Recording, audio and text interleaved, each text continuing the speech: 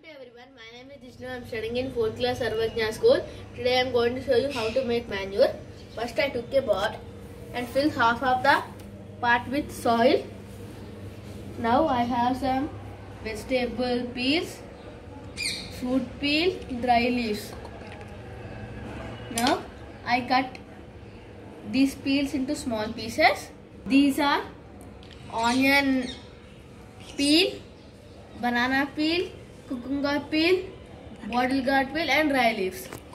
Now I am going to cut into small pieces. I cutted all the wastages. Put all the items one by one in this soil.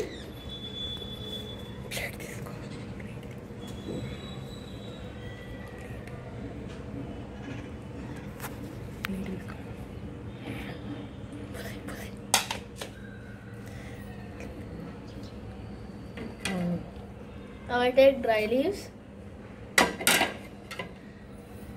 onion and banana peel.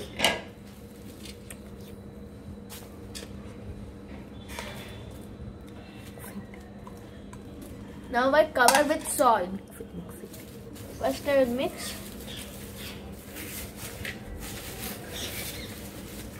Now I cover with soil.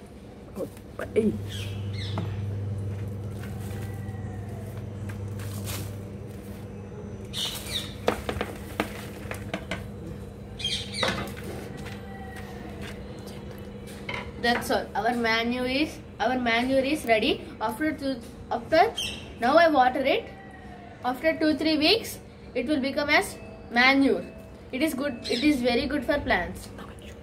Now I show the manure. After two three weeks, the soil become like this, and this is the manure. It is very good for plants. Thank you.